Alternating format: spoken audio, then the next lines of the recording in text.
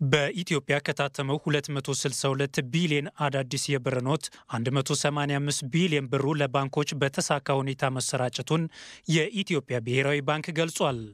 ብሔራዊ ባንኩ የብር ቅየራው በተሳካ መልኩ እንዲጠናቀቅ አስተዋጽኦ ላደረጉ ባለድርሻዎች ምስጋናና እውቅና ሰጥቷል። ሐሰተኛ የብር ኖቶች መሰራጨትና በትግራይ ክልል በተከናወነው የሕግ ማስከበር ዘመቻ ወቅት የብር ኖት ቅየራውን በአግባቡ ለማከናወን አለመቻሉ ያጋጠሙ ተግዳሮቶች እንደነበሩ የብሔራዊ ባንክ ገዢ ዶክተር ይናገር ደሴ ገልጸዋል።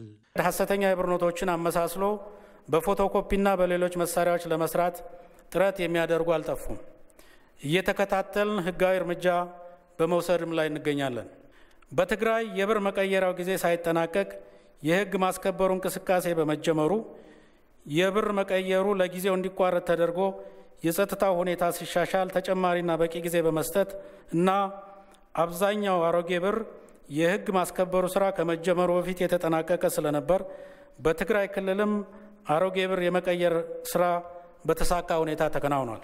የብር ኖት መቀየሩ የገንዘብ ዝውውሩ በባንክ በኩል እንዲያልፍ በማስገደዱ የባንኮችን የጥሬ ገንዘብ እጥረት ችግር ቀርፏል። ለህገወጥ ተግባር የሚውሉ ከባንክ ስርዓት ውጭ ያሉ የብር ኖቶች እንዲመክኑ አድርጓል ያሉት ዶክተር ይናገር ደሴ የብር ቅየራ ሂደቱ በተሳካ መልኩ እንዲጠናቀቅ ሚና የተጫወቱ ተቋማትንም አመስግነዋል። የመከላከያ ሚኒስቴር ብሩ በተለያዩ ሀገራችን አካባቢዎች ሲሰራጭ የማጀብ ስራ ብቻ ሳይሆን የመኪና እጥረትም ስለነበረብን ብሩን ለማጓጓዝ መከላከያ ሚኒስቴር ያሉትን መኪኖችን ለዚሁ ለብር ማጓጓዝ ስራ እንዲውሉ አድርጎልናል። መከላከያ ሚኒስቴርን ከልብ እናመሰግናለን።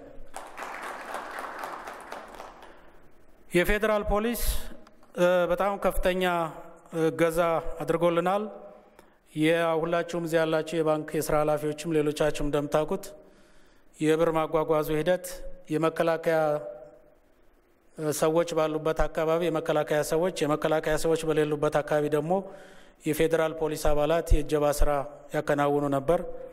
በዚህ ረገድ ሰለቸን ደከመን ሳይሉ የፌዴራል ፖሊስ አባላት በመላ አገሪቱ በብሩ ማጓጓዝ ሂደት ከፍተኛ ርብርብ አድርገዋል። እነዚህን የፌዴራል ፖሊስ መስሪያ ቤቱንና የፌዴራል ፖሊስ አባላቱን ላቅ ያለ ምስጋና ማቅረብ እፈልጋለሁ።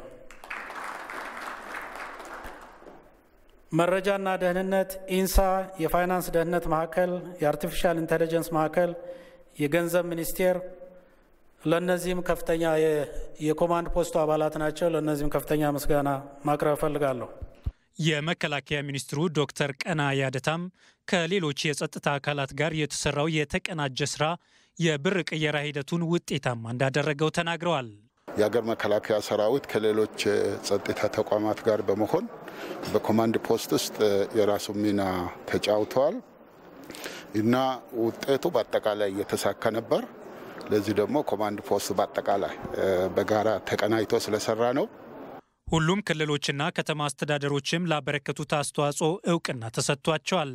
ህብረተሰቡም በከፍተኛ የውጭ ምንዛሬ የታተሙ አዳዲስ የብር ኖቶችን በጥንቃቄ እንዲጠቀም ብሔራዊ ባንክ አሳስቧል።